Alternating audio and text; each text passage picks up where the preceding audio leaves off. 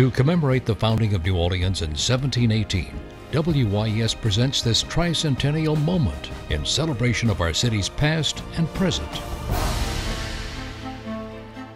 Caroline Durieux was a distinguished 20th century American artist.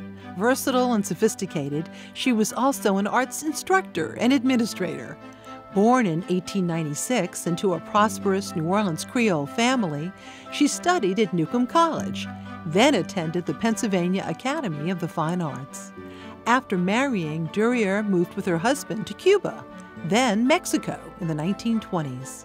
Her experiences abroad changed Durieux, and her art transformed considerably.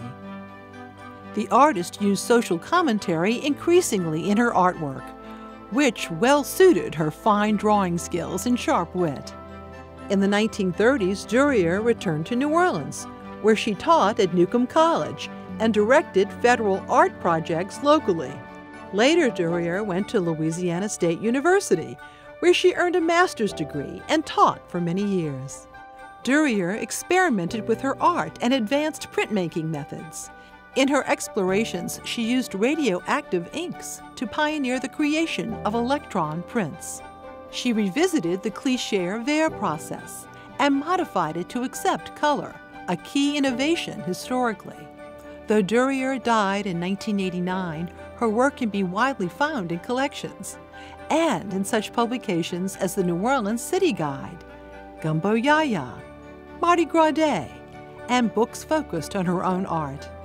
Durieux was profiled too in Sherwood Anderson and other famous Creoles. William Spratling and William Faulkner's famous look at the French Quarter's bohemian culture. Caroline Durieux's compelling career continues to demand attention. Her diverse achievements are testament to a lasting artistic legacy.